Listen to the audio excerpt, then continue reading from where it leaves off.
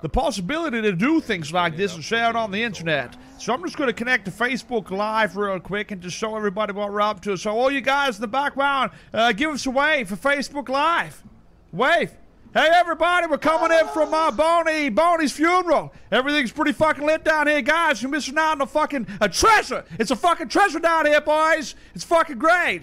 All right, okay. You guys have a nice day. Uh, peace out. Dead people no.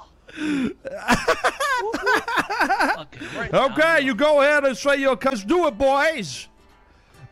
Taco, get the fuck on the ground! Get the right fuck fucking now, Taco! You motherfucker, you get in the 40s, boy! You get in the fucking Oh, yeah, 40s! Boys. You get in the fucking 40s, asshole! Get him in cuffs, boys! Get him in fucking cuffs! Don't you fucking resist! Don't you Oh, fucking resist! sake. Don't I'm you fucking here. move! What the fuck is going on? What the fuck?